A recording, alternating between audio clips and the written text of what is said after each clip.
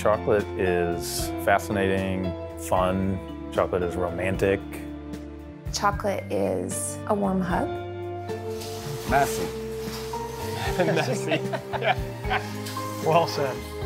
Chocolate is mouth-watering, satisfying, extravagant, lavish, beautiful. Super delicious. The journey from the discovery of cacao to present day to a chocolate bar is a long, fascinating piece of history. We've had lines blow up on us to where you're literally covered from head to toe in chocolate. Yeah. Always worse things you can be covered in, we always say. A lot of people are surprised to find out that everything on there is completely edible. We also get a lot of people who are surprised to find out that everything's done by hand. Everybody said, wow, this is different. Somebody said that uh, this is life-changing, you know, chocolate. It's hard to find anything that you really feel like you have, have accomplished something. And making the chocolates, I feel like I've accomplished something. People don't realize what amazing things are coming out of this part of the country and going all over the United States.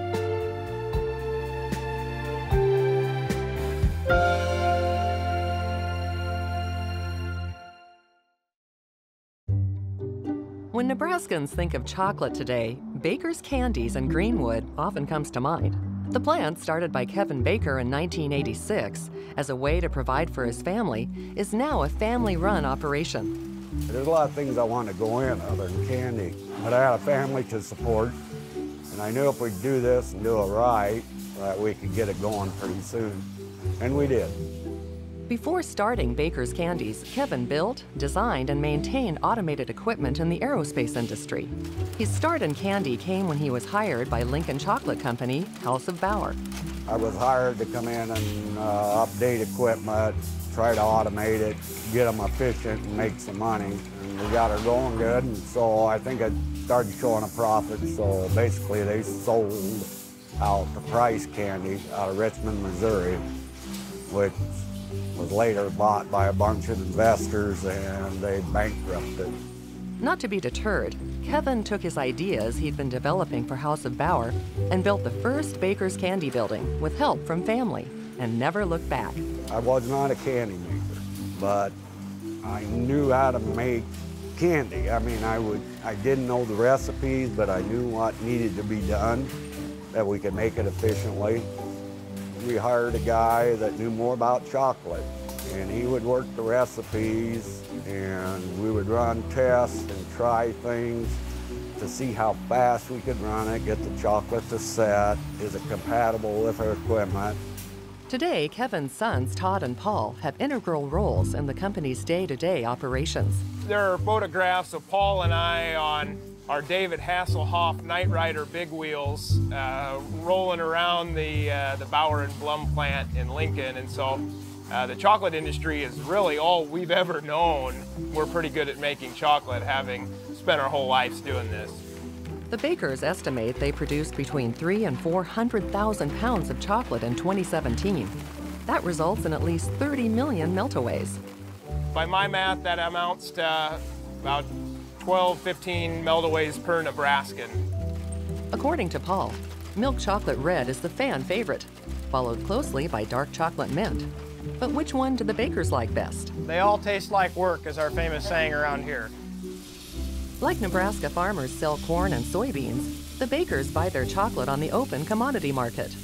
The cocoa beans come to the United States on a ship uh, just like every chocolate company gets their cocoa beans. However, we have them processed into these nice, convenient melting ingots. A pallet like this of chocolate liquor uh, actually is probably about the equivalent of an entire semi-trailer full of dry roasted cocoa beans. And so being far more dense, we're able to get uh, about 30 of these pallets uh, onto a semi-truck and we can get a lot more cocoa here to Nebraska so that we can redistribute it. After 10-pound chocolate liquor blocks are melted, they are mixed with cocoa butter and flavorings to begin the process of creating the famous Baker's Meltaway. From the beginning to the end, the entire process takes about 90 minutes. That includes the time it took to, to literally pump it out onto the floor, form, shape, coat, cool, twist wrap, and, uh, and send it into this catch bucket like you see right here. Let's speed that 90 minute process up a bit, shall we?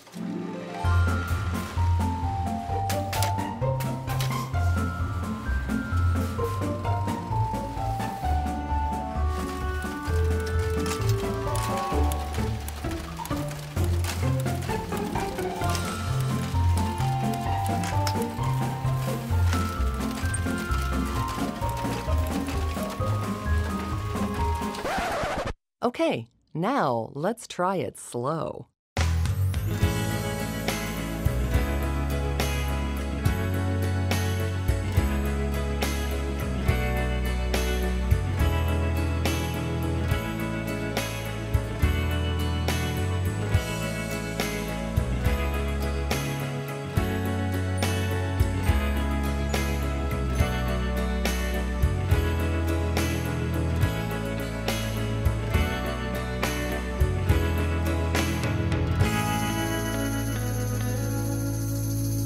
Chocolates are so good, people come from miles around.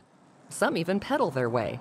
An annual chocolate bike ride by the Great Plains Bicycling Club brings chocoholics 40 miles round trip to satisfy their chocolate cravings.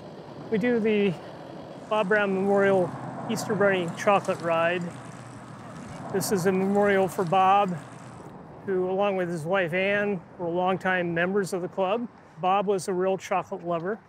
So, about weekly during the summer, they would ride out from their home up here to Highway 6 and up to Greenwood to Baker's Chocolates, where Bob would replenish the supplies and they would ride back. Bob passed away suddenly a few years back, and I decided we needed to continue the ride. Uh, and so I've led that ride for the last few years. To accommodate chocolate lovers from across Nebraska, Baker's is expanding. A 5,000 square foot retail store addition is slated to open in 2019, a testament to their efficiency. A chocolate factory our size in the year 1980 would have had to have employed at least 100 people to do what we're now able to do on our production floor with just three employees. Literally, machinery does 100% of the labor intensive work out here on the candy factory floor. And so when people come to the chocolate factory looking for Oompa Loompas, they're often disappointed to find they've all been outsourced by automated production equipment.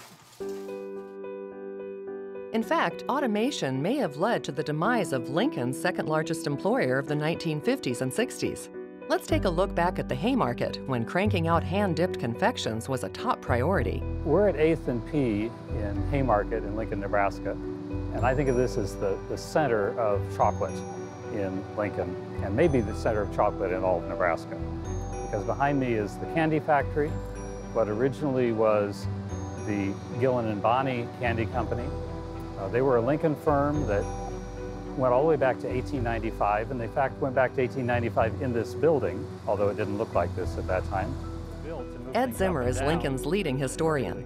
He takes us through what today is a revitalized urban area and what once was Lincoln's chocolate mecca. Probably was advantageous. Frank Gillen and William Bonney worked for competing candy companies. Gillen for Lash Brothers, Bonney for Lincoln Confectionery Company. After about a year as competitors, they joined forces. Almost immediately after Gillen and Bonney formed their own company, their building burned down in 1895. And somehow they didn't go out of business. They, in fact, bought the two thirds of the site that had burned out and rebuilt their three stories in 1906. Then they added a fourth story on top of that and eventually bought and remodeled the whole exterior. So that whole corner of 8th and P was the Gillen and Bonney building. The foundation laid by Gillen and Bonney turned into Russell Stover, Lincoln's leading chocolate company in history. Stovers first came to Lincoln not as manufacturers, but as retailers. They weren't called Russell Stover, they were called Mrs. Stover's Bungalow Candies, and they were in several locations around 13th and O, eventually operating out of the Miller and Payne department store building. During World War II, in order not to be put out of business by the rationing, they bought regional candy companies, and Gillen and Bonnie was one of them they bought.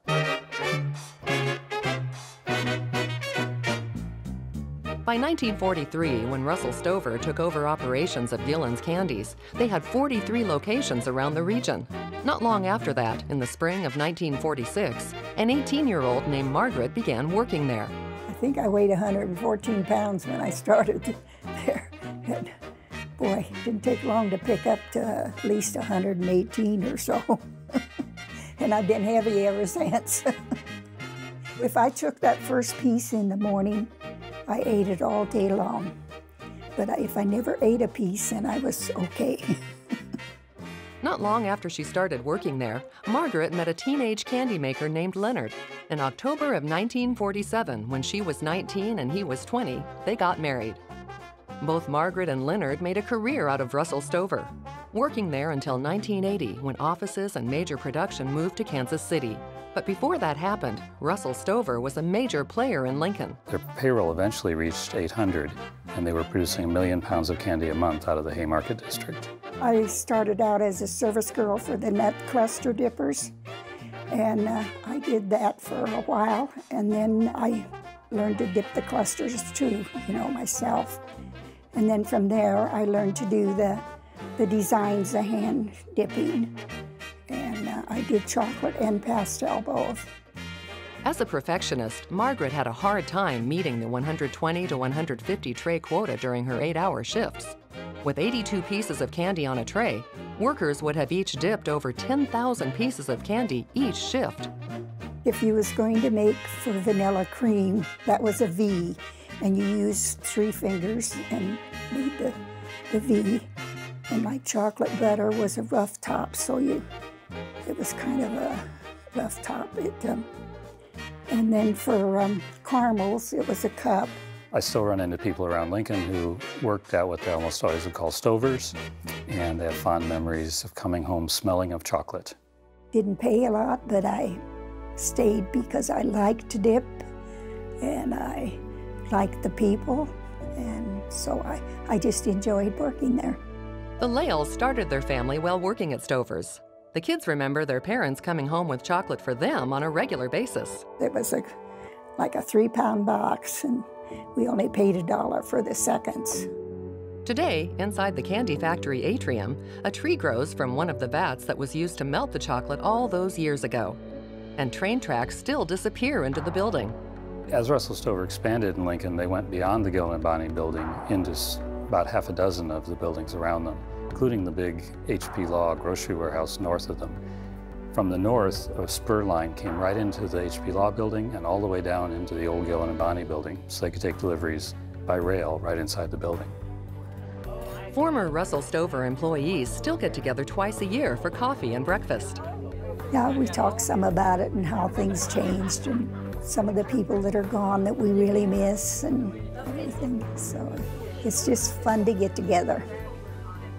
Today in Texas, Frank Gillen's great grandson still makes chocolate under the Gillen Candy brand. In Lincoln in 2013, with the construction of the Pinnacle Bank Arena, came a piece of art by Philadelphia artist Donald Lipski called Box of Chocolates. It is 16 feet wide by 9 feet high and contains 144 chocolate pieces. The artwork pays homage to the area's rich chocolate history.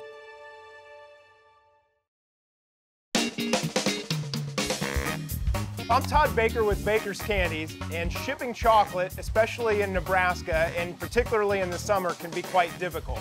If you're going to ship chocolate from home, here's what you need to do.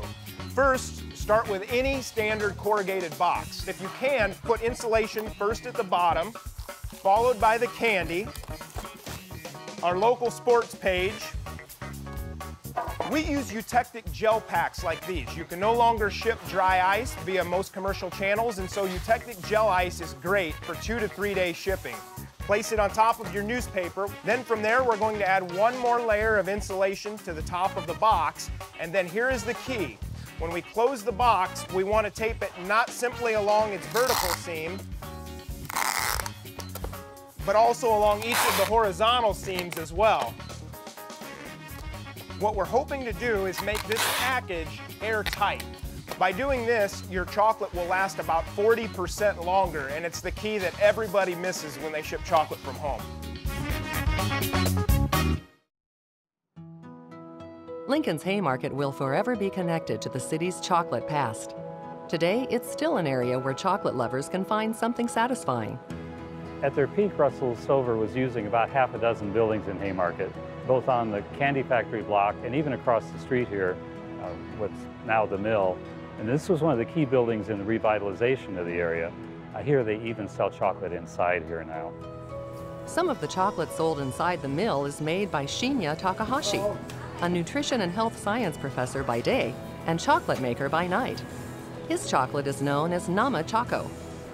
I don't advertise my side business, chocolate business, to my students or anybody else on campus uh, because one hand I'm um, you know, advocating or preaching students that uh, you know healthy lifestyle. But then I make a chocolate to sell people.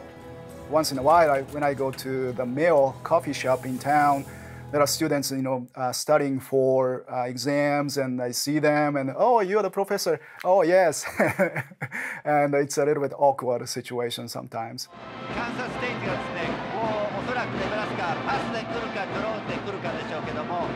Shinya moved from Japan to Nebraska to study exercise science after watching the Nebraska football team play Kansas State in Tokyo in 1992 what I saw on TV, uh, Nebraska playing against uh, K-State, and they was really strong. Tommie Frazier was a freshman, and he was a quarterback, and they beat uh, K-State. So I was pretty uh, impressed by that, and I decided to come to Nebraska. Shinya began making his Japanese chocolates as a way to bring a taste of home to his family and friends in Nebraska. The chocolate that I make is really popular in Japan, uh, especially the Valentine's Day uh, time, uh, maybe a January through maybe a March. But I haven't seen anything like that in U.S. And so I started to kind of experiment and uh, you know uh, try to find a cross uh, chocolate that I'm used to. He turned it into a business in 2014 after winning the People's Choice Award at Lincoln's Chocolate Lovers Fantasy event. That was the first time he entered, and he's held the title every year since. When we went to the Chocolate Lovers Fantasy first time, uh, we provided samples, and everybody said, wow, this is different. Somebody said that uh, this is life-changing you know, chocolate. His recipes are simple. In appearance and ingredients, Shinya prefers to let the chocolates speak for themselves. I'm not uh, uh making a chocolate from scratch. I'm using baking chips, basically, chocolate chips. And then I put the, some uh, ingredients and then I make that uh, texture much, much soft and smooth. And I think that's the uh, difference uh, when you compare to other chocolates. Nama Choco comes in five flavors dark chocolate, sea salt, mint, sea salted caramel, and raspberry.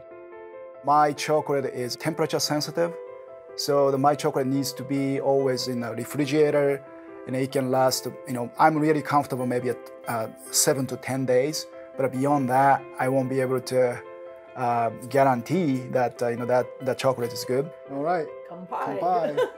Shinya makes Nama Choco in his mother-in-law's basement kitchen because that meets the proper certifications for a food processor license. Nama meaning the fresh in Japanese, and choco is the chocolate.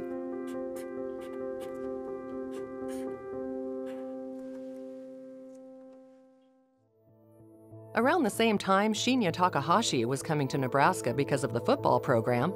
Kansas City native Christopher Elbow was here as part of the University of Nebraska Lincoln's swim team. He is now a premier chocolatier in his self-titled chocolate empire in Kansas City.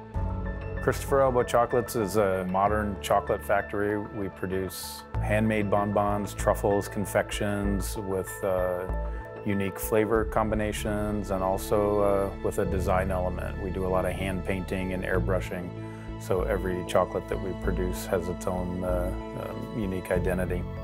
Christopher's road to success has been long, and being a chocolatier wasn't part of his plan while attending the University of Nebraska. I was majoring in restaurant and food service administration at UNL, and a lot of the uh, classes I was in were very chemistry, food science centric, which actually gave me a really great foundation of uh, um, when I did start my culinary career. Elbow started out as a chef cooking savory food. I had the opportunity to work in a pastry kitchen out in Las Vegas, and that's where I discovered my love for desserts and chocolate and um, kind of all things sweet. Even though chocolate making wasn't in the plans when Christopher was at the university, he says what he learned there does translate. Chocolate and pastry and baking are very scientific and um, you know, having that knowledge that I learned at UNL uh, really helped me uh, gain insight onto how to correct problems and then uh, um, come up with new uh, techniques and new ideas. We visited Elbow just three weeks after moving into his new global headquarters in Kansas City We started in a 400 square foot room above a restaurant. It was very small scale. It was just me. Um, didn't have any employees other than my wife and my mom would come down and help tie bows and things like that in, in the very early parts of the uh, business. But right from the beginning, we couldn't keep up with demand. The move to the new building should allow for future expansion. All of our bonbon and confection production will take place here. Um, it also houses all of our packaging operation, our shipping and warehousing, and then all of our corporate offices. We were working under the roofs of three buildings, separate buildings before, and just as we've grown, we've kind of pieced together what we could, um, but ultimately we needed more space. Confections created here are works of art that go through many steps before hitting the consumer's mouth. The bonbons is really what we kind of became famous for. Um, and kind of the core part of our business. That process starts out with airbrushing, kind of the same airbrushes you would use as a hobbyist. And it's uh, our paint, um, so to speak, is colored cocoa butter. So we will paint the molds with uh, airbrushes or sometimes we'll splatter them or hand paint them. Once that is set, we'll pour the chocolate into the mold and it will form the shell. You pour the excess out, the rest will drip out and kind of leave behind a, a thin shell. And after that sets up, that's what we'll fill with our filling. Fillings for the Belgian-style bonbons are made with well thought out ingredients. Together, they create unique flavor combinations. We like to do a lot of kind of really soft infused caramels, so using spices, herbs, different kind of fruits and, and flavors, alcohols and things like that that uh, uh, all go really, really well with chocolate. So once we make those and fill them up, they'll set for a day, and then we'll seal them up the next day and turn them out. The other style of bonbon they create is called a French-style ganache. We would pour the filling in a frame, we would cut it into squares the next day, and then on the third day it would go through an enrobing machine and get a really thin coating of chocolate on it. And then we'll actually decorate those at that point, usually with what's called a transfer sheet, which is cocoa butter that's been silk screened onto a, a, sheet of acetate. And we put it on the chocolate when it's wet, pull it off after it's set. It's kind of like a temporary tattoo. So we can digitally create almost any design for those types of bonbons. Elbow and his team are always looking for new flavor combinations, and those they come up with are intentional. One thing that's been kind of a key to our success is we don't do anything weird for the sake of being weird or trendy. Kind of what I tell my staff is if we eat it and we say, huh, that's interesting, then it's probably not something that we should sell. We like to keep things simple. The worst reaction a customer could say would, would be, that's interesting. It's like the worst thing you can say to a chef. Even with room for growth in the new space, Christopher emphasizes they aren't looking to produce bigger batches of chocolate. We're dedicated to small batch production. And, you know, we, we do want to grow and we do want to make more chocolates, but we're at a certain point where our bat size is perfect for maintaining our quality. Our really primary focus is to stay innovative and keep doing new products and new flavors and, and kind of staying at the forefront of the chocolate world. If Christopher Elbow runs a chocolate empire in Kansas City, Susie Robison is Tekamah's queen and her shop, Master's Hand, is her castle. Nestled between Sioux City and Omaha, it started as a single mom making candles with her kids. Now it not only sells candles, but is a floral shop, boutique, lunchery, bakery, and of course, a candy shop. That part is known as Serendipity Chocolates. We are what we call every woman's dream shop, but we're also every man's dream shop when he's in the doghouse. So we just wanted to make a sanctuary, a, a place where women could go because unless you're intentional about life, it just passes you by. When Susie decided to add serendipity chocolates to the business, she looked to her past for inspiration. That desire kind of started with my mom and um, my Aunt Esther, and um, they always made a lot of candies and things like that at holiday times. Our chocolate covered cherries and barks and toffees and things like that, that all came from my mom and my aunt. Susie says what makes their chocolate so good is the ingredients used. We make everything with real cream, real butter, and real love. And not the fake love. You know, you can get fake love anywhere, but we make it with real love, and that makes a difference. When people come in, we want them to leave with a sweet taste in their mouth. And so we give away a lot of just free samples. And so this little boy came up and he was sampling all kinds of chocolate. And so the first one that he sampled, it was a peanut butter peanut. And he apparently loved it a lot. And he's and he shouts over to his mom, Mom, you've got to try this. It's a chance of a lifetime. Five years ago, Susie married Scott. A couple years after that, he lost his sight. Susie says it's because of all the adversity in her life that she is where she is today. The things that looked horrible in the beginning, they became part of the, the rocky road of the story that we have to tell. In the early years of Master's Hand, when we just made candles just to live, if somebody would have just come behind me and just gave me $500, Master's Hand would never have been here.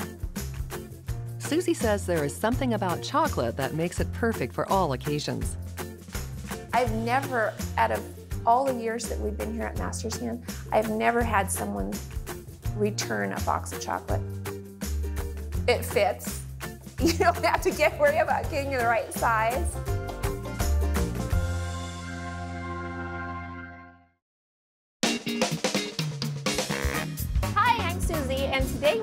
A chocolate tip, and I'm going to teach you how to make your own chocolate bowls at home. You're going to take a balloon, you're going to dip it in the chocolate three times because we're going to try to make this look like a little tulip. All right, and then I'm going to take it over here and I'm going to put it on my tray. Now once it's done here, I'm going to take it and I'm going to put it in the cooler for about five minutes right in that area. Once it's all cool, I'm going to take them out of the cooler and then I'm just going to gently pop this balloon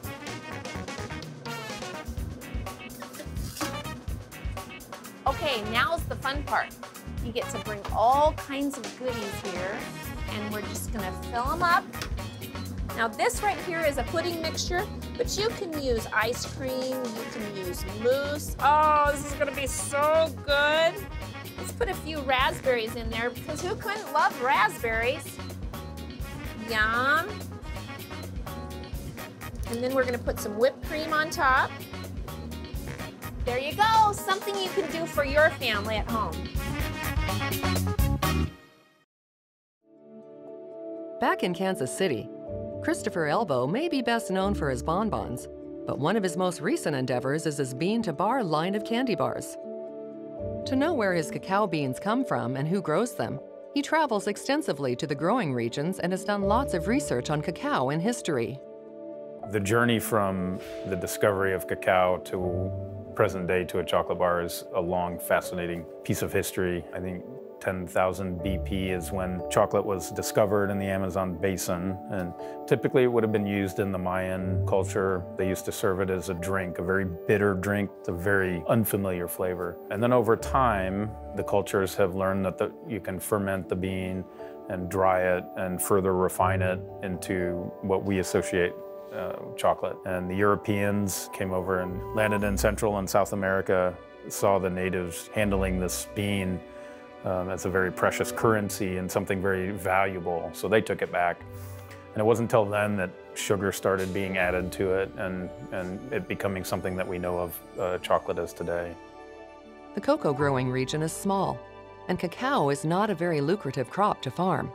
Cacao grows typically approximately 18 degrees north and south of the equator. It's in very hot tropical, um, it's usually low altitude, so it's a little overlaps with coffee a little bit, but coffee would be typically a higher altitude. Cocoa grows on trees and is difficult to grow because the harvesting process cannot be mechanized, and some trees can grow up to 30 feet high. It's a pod that, that grows off the stems and trunks of trees. And inside that pod, it would contain about 40 to 60 of the seeds, or the beans that we call them. And that's covered with a very citrusy, sweet membrane that aids in the fermentation process. It takes about three to four years for a tree to bear fruit, and then another three to four years for it to become fully mature to where it's actually uh, um, producing a, a lot of fruit. Christopher gets beans from about 15 different countries currently, and he's traveled all through Central America and to Colombia, Brazil, Peru, and Ecuador in South America. One of our goals um, is ultimately in an effort to make cacao more sustainable, is to uh, work with the farmers, make sure they're getting a fair price for their crop and they have somebody to sell it to. Christopher created a foundation where some proceeds from the sales of his bean to bar products will support that effort. The whole goal of visiting the farmers is twofold. Number one, to make sure that the product's going to be good and it's going to be something that we're going to be able to make good chocolate out of, but also that their conditions and the farmers are engaged in um, good practices. Most cocoa farmers don't consume chocolate or know what it tastes like. So Elbow gets satisfaction when he can provide them their first taste of the end product. We took a white chocolate made with this uh, group's milk, and you know their name is on the package, and um, you know they kids were coming up and just grabbing handfuls of this chocolate. Uh, so to see them, you know, make the connection between you know what we have created and what they've provided us was a really kind of a magical moment. There are several steps the bean goes through before it's ready to turn into the chocolate Nebraskans usually eat. After being hand harvested, the pods are broken open and fermentation begins. The fermentation process is really what starts creating the chocolate flavors and precursors that we would associate with chocolate. Once the fermentation happens over about five to seven days, the beans are dried for another five to seven days. At this point, the beans are shipped to chocolate makers like Elbow, who further refine them. Our first step is to sort through those and get rid of any extraneous material, think, you know, sticks, rocks, things that won't make good chocolate, but also broken beans, things that got damaged in transit. The smallest amount of um, negative um, beans would impact a whole entire batch. The very first step in our process and where we can start developing flavor is the roasting process. And it's somewhat similar to coffee where we're roasting to a certain profile for a certain bean. We're doing it at a much lower temperature though. Roasting typically takes about an hour and is carefully charted to ensure the beans are cooked all the way through and not burnt. Next step would be to crack the beans and we would end up with a big bucket of the shell and the cocoa bean. So we put them through what's called a winnower, and that removes the shell, so we're left with the very clean nib. And that's what will formulate our recipe and go into the refiner. And the point of the refiner is to use heat and friction and pressure to basically liquefy the bean. The bean is 50%, roughly 55% fat, cocoa in the form of cocoa butter. So we want to break that down into a small particles where it will liquefy and that allows us to actually refine that chocolate down to a very smooth particle size that's going to be really pleasing on the mouth. And we'll also combine the sugar in at that point as well. Refining is about a two-day process. From there, the liquid goes into a conch for three or four more days. This is where final flavor tweaks are made. And with this machine, we have the ability to further um, push the flavor. We can take the temperature up really high to where some of the kind of volatile acids will flash off. Elbow found that letting chocolate age before it is cast into a bar further brings out the flavor. Even after we make the chocolate, we typically put it into big blocks and we'll uh, store it for two to three months before we cast it into chocolate bars. Christopher hopes that by letting consumers see the process, they will have a heightened awareness about how involved it is and not take each chocolate bite for granted. Bean to bar is a way to get customers the freshest, purest end result as possible. That's also the foundation for Cup of Coa, a hot chocolate mix originally produced in Salt Lake City, but now owned and distributed in Nebraska. I am an original Barista's Daily Grind barista. Barista started in 2001 here in Kearney, Nebraska. I am now the third owner of this company, and uh, Cup of Coa was also a Barista's Daily Grind company that ownership has passed on to me. So, how exactly did the official sponsored cocoa for the 2002 Winter Olympic Games in Salt Lake City end up in Nebraska?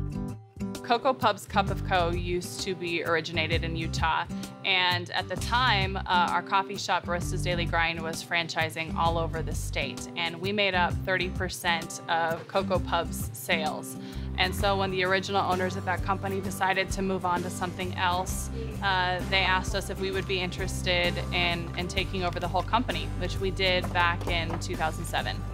Jasmine fell in love with Cup of Coa before becoming the owner. She hasn't found any instant hot chocolate she likes better, so becoming the owner was an easy decision. When you come across something unique, something like this that uh, sticks in your memory, that sticks in your mouth, that even when you haven't had it for years, you go back to, wow, that was a good cup of cocoa. Um, how can you not be passionate about that? To Jasmine, the ingredients and recipe are what make Cup of Coa stand out. Even though it is a mix with water formula, there is tons of milk in my product. We just found that using a dry milk product produced a rich, creamy cocoa, so you can't tell that my cocoa is mixed with water. And then we also use three different chocolates. One of them we import from Germany. It's a Dutch chocolate with a really high fat content. And what this means is that when you pour your water into my cocoa and you mix it, it develops this really rich, creamy, frothy head. Cup of Coa is a luxury hot chocolate made with all natural ingredients. Its unique characteristics make it versatile, too. We're the only hot chocolate company in the entire country that can be served hot. The same mixture can be served blended or frozen. Uh, it can also be cooked down into a syrup or sauce. And our recipe is unique because you can do all of those things with just water. Top with a little whipped cream. You're good to go. The cocoa is produced in Nebraska and hand-packed in Kearney at Barista's Daily Grind. We roll the tins uh, by hand, and we'll actually do that way in advance and have them ready so that when the cocoa sleeves show up, we can just drop the cocoa sleeves in, slap the lids on, and ship from our coffee shops out to uh, all of the customers that are ordering Cup of Coa. Jasmine is happy that her specialty hot chocolate allows Barista's Daily Grind to go beyond being just another coffee shop. Cup of Coa is a signature product. It draws people. It's so good that all of those non-coffee drinkers will say, go to that place because they have the good hot chocolate. Chocolate. Cheers. Cheers. Jasmine enjoys being from Nebraska, and she's proud that her small Nebraska companies impact her home state. I love our wide open skies and that life's a little slower here. I think that's part of the reason why we can appreciate fine things because we take the time um, to notice them. People don't realize what amazing things are coming out of this part of the country and going all over the United States. Even farther west in Sidney, 88 year old Bertha Mueller ships her homemade chocolates around the world. Mueller, known mainly by the locals, is a former Cabela's employee who opens up her home twice a year, at Christmas and Valentine's Day, to her chocolate fans. Welcome, come in. Glad you could come. The first years I made just a little bit for my family, and then I started giving them as gifts. And uh, the people that we gave them as gifts to very often said, I wish we could buy these. And so 12 years ago, Christmas, my husband died, and he, he died on December 2nd. And it just was such a blah holiday season for us. And so my daughter Pam said, Mom, do you think we should try making and selling some chocolates this year? And I said, Why not? Perfect. Thank you very much. The recipe came from Bertha's cousin, who promised to share it with her as long as she kept it in the family. The 1st of November, we start making the fondant and work really hard during the whole month of November because it's, it's very time consuming. So we work long, long hours and sometimes we really burn the midnight oil. but it's kind of fun because Pam and I work together on it and so it gives us a lot of together time. Bertha and Pam make at least 60 different flavors, which are offered in milk, dark, or white chocolate. But that's just the tip of the iceberg. I make 30 batches of fondant and each batch makes 90 balls. Plus I make all the fudges. The sea salt caramels have been a big seller the last few years. Mrs. Mueller went 12 years before a slight price increase, but it only covers cost of supplies. My son asked me, he said, Well, Mom, do you make any money doing that? And I said, Yes, we make some money. And he said, Well, do you make minimum wage? And I just laughed. I said, If we paid ourselves a dollar an hour, we would go in the hole. it's not something you do because you want to make money. It's something you do because you love it. Bertha says at her age, the feeling of achievement is pay enough. It's hard to find anything that you really feel like you have, have accomplished something. And making the chocolates, I feel like I've accomplished something. And also, it's good because uh, people like them. And it's good to do something that people want and that they want bad enough to come to go, come out of their way to get. Mueller even mails chocolates for just the cost of postage to fans around the country and the world. We have customers who send us their Christmas list, and we send like eight or ten boxes to different locations around. And the farthest I've sent any is to Australia, and um, mostly it's continental United States and, and Alaska. Only time will tell how long Bertha will keep making and selling her confections. I guess I'll do it as long as I enjoy it. And uh, when I stop enjoying it, then I won't do it anymore. And lately I said, well, maybe I'll retire when I'm 90. but that's getting pretty close now.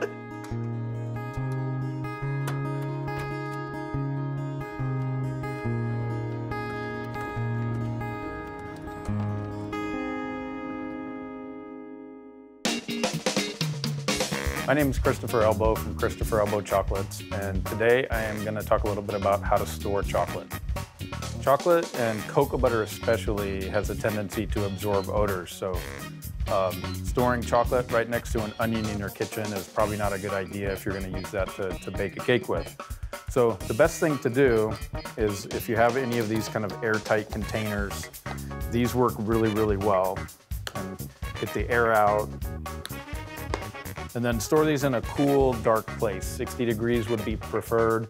Um, you can store them in the refrigerator for longer term storage, um, but we always recommend making sure you bring it to room temperature before you open up the package. Now, if you don't have any of these little containers here, you can always use um, good old plastic wrap. Just making sure you do a few layers really, really tight. I would probably do two to three layers before, especially if we're gonna put it in the refrigerator.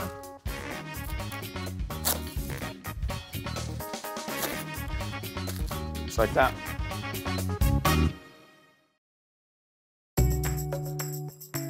Something about chocolate brings people together. Bertha Mueller's chocolates attract family and friends for two special chocolate holidays. Columbus author and speaker Deb Burma noticed that too. And that inspired her to write a women's Bible study around the theme. And I pray this won't be the last time you hear it. May we never tire. We've been leading a series of these events for a few years. When we started talking as a team about what is one thing that most every woman shares a love for chocolate. Yes, let's talk chocolate. So, the exciting part for me is I thought, let's do a chocolate themed women's event and see what happens. Hot chocolate. As Deb started planning her event and looking through scripture, she had no problem finding word pictures and themes that coincided with similar chocolate connectors. What are all the things we crave in life, seeking for something that's going to satisfy us?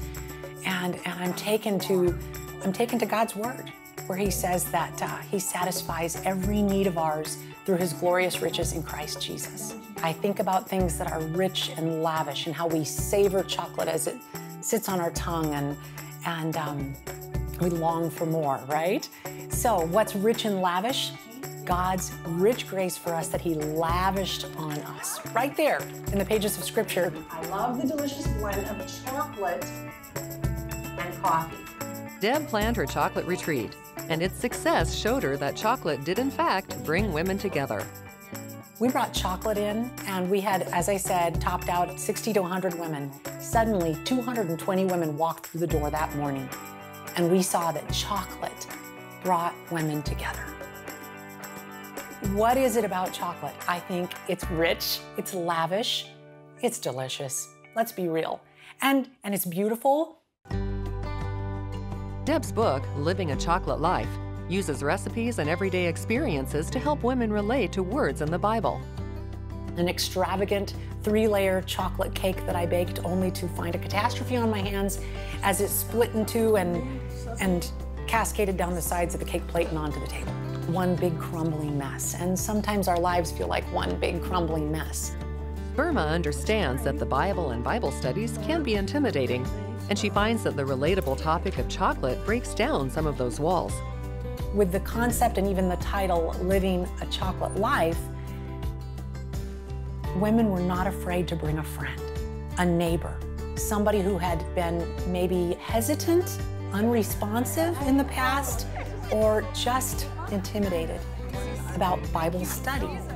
To see that it can be real, a real place, an authentic place of sharing and giggling and, and, and maybe some tears growing together around chocolate, around such a fun, relatable topic.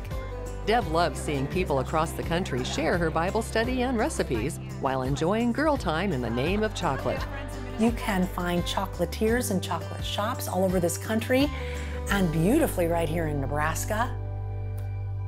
Chocolate is so appealing that who can't talk about it? As a Christian author and speaker, Deb Burma wears her faith on her sleeve. Melissa Stevens at the Cordial Cherry in Omaha shares a love for God and credits him for being where she is today. She just didn't think it would happen by making adorable little snowmen. Over the years, I've seen how he's been able to use that for his purpose, and it's been a really neat lesson. So everything from all of the fundraisers that we've been able to be a part of, the thousands of chocolates that we've donated to help contribute to needy families and children and different organizations that are important, to just the gift giving, to touch somebody's heart and make someone smile that needed, needed that. So I no longer feel like I'm not doing something noble. I actually feel like I'm doing exactly what God designed me to do. And what she was designed to do? Create chocolate covered cherries that are not only delicious, but are almost too cute to eat. So a lot of people are surprised to find out that everything on there is completely edible. We also get a lot of people who are surprised to find out that everything's done by hand. So, um, you know, we don't use any molds to create any of the pieces or designs for our cordial cherries. So everything, start to finish, is done by hand. Melissa learned how to make cordial cherries from her grandmother. And that was just the beginning of what would become the Cordial Cherry in Omaha. She had always made them for a Christmas treat for us, so it had become a holiday tradition for our family. And um, eventually, I, I, was curious enough, I wanted to learn how to make them myself. And she was kind of reluctant because it's quite a process. It took about a week or so of her kind of working with me, but I was able to get it down. Before any decorating can take place, the cherries must be turned into cordial cherries. We order in all of our cherries from the Washington, Oregon area. The next step is draining the cherries. We have to prepare a liquid fondant. It's kind of a, a hot liquid fondant. So once it cools, it's hardened. Once we set them down on the paper, they uh, cool down immediately and are hardened. And we have about an hour or so before we have to dip them in chocolate to create a, a, casing so that that liquefaction can start to develop while they're encased in the chocolate. Melissa estimates she has come up with 200 plus cherry designs over the years. My favorite cordial cherry design is our snowman cordial cherries. And it's a really fun one um, just because there's so much versatility. They look so happy as you're making them. It's hard to not make them and not smile. And it's got a soft spot in my heart because it was one of my very first designs. Melissa is an interesting mix of artist and scientist. She has a bachelor's degree in biotechnology and a teaching degree with a master's in biology. She was teaching and getting her doctorate in education administration when she started making chocolates to help pay for her education. All this while raising four kids. So I'm left brain, right brain, definitely. I had a background in pottery, so that was kind of my foundation, which I use a lot of the same uh, techniques actually in the sculpting and such of some of the chocolates that we do. Um, but I also am very analytical, so I love um, you know, science and research and problem solving, which has benefited me in terms of business. Even beyond the recipe, family was the key motivation to the Cordial Cherries roots. One of the primary motivators uh, for opening my shop was my desire to homeschool my kids. So I, I was a teacher and um, it was really tugging at my heart that I was um, teaching everybody else's kids every day and I was missing out on watching my kids learn. And family is still one of the keys to its success. I was literally working around the clock. I recruited everybody who I could possibly recruit. So that meant my kids were in there folding boxes. My dad was in there. I don't even think he's made a sandwich before. And he, i he learned to dip cherries. And uh, my sister was there and her husband. And we just had everybody who was willing to help come in and sort of rescue me that first holiday season. As soon as we got through that season, we realized, okay, I, we are actually onto something there's no way I can do this by myself. And so uh, my mom and sister at the time were willing to jump in as partners. The chocolate makers we visited do most of their business between October and February. Melissa found that to be true of her shop as well. Our most popular design, if we compared the entire year, would still be our holiday designs. And among those is probably a toss up between our Nativity collection, which is a nine piece collection that landed on Oprah's list a few years ago, kind of put us on the map. That was exciting. And then just stereotypical Christmas designs, so our Santas, reindeers, elves, and snowmen. Besides the acclaim of making Oprah's list, Melissa's chocolates have been gifted at the Emmy Awards a few times. They've been featured in Entrepreneur.com and they've appeared on The Today Show. And although those accolades are appreciated, Stevens won't take all the credit. I just feel blessed. We have a business that we do some really unique things, and we've had some incredible opportunities uh, come our way, and I don't think that's by chance. Melissa is a woman with many passions who can't sit still. She recently obtained a patent pending on one of her inventions. I had this idea to be able to stack pastries without them crushing each other and to create really cool, huge towers of pastries, and other food items. It's called Hot Stacker. Another one of Melissa's passions is mentoring, especially up and coming women entrepreneurs. One mentee is Alexandra Radigan. She is a chocolatier on staff at the Cordial Cherry who has her own brand of chocolates called the Chocolate Poet. I've just mentored her along the way um, just to kind of help her get her business up and running. And so not only does she uh, manufacture her chocolates here, but we sell her, her chocolates in the shop as well. Passionate about chocolate, others, and life, Melissa is surely living a chocolate life.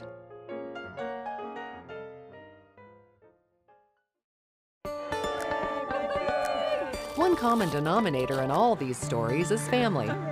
Chocolate making brings families together. Chocolate eating brings friends together like family. It's tough to work family, and we've done a very good job at it. I can see the grandkids. We've got one granddaughter. She'd work here tomorrow if she'd quit school. And uh, I think the legacy will have nothing to do with the business itself, but basically being able to run a business with all the family involved without fights, quarrels. And we've done real well. We haven't had too many really bad spots. Well, I met him in May. He was a candy maker, and uh, we got married in October. We were married uh, 36 years before he passed away. When we go to those um, events, she's really good at promoting the My Chocolates. I think you know it's a really good uh, partnership. My wife's name is Jennifer Elbow, and she is uh, responsible for creating the logo and the branding of our company, and has played a huge part in helping us grow our brand and, and fine tune it over the years.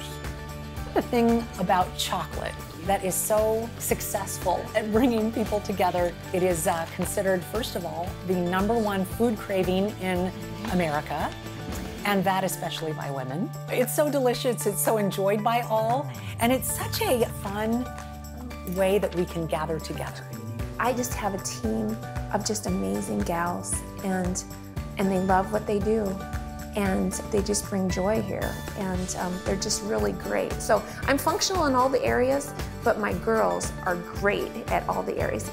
My mom's my best friend. My sister is amazing. I'm so grateful to both of them. My dad is a huge support. He's there anytime I need help just pitching in to make things or helping with my kids because we're so busy. It's just a wonderful uh, mother-daughter experience and I couldn't do it without her.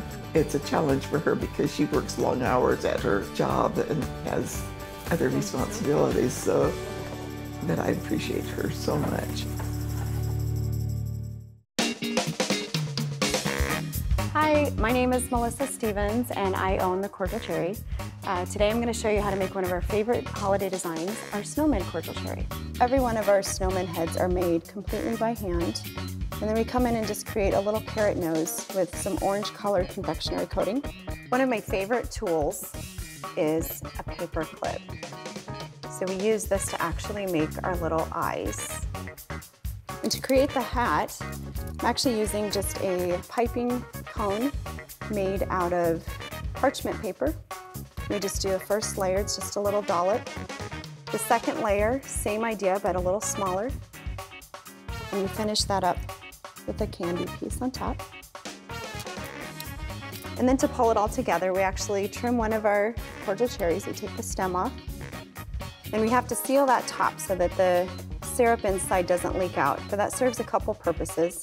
Not only to seal it, but it also provides somewhere for our scarf, as well as a point of contact to glue the little head on.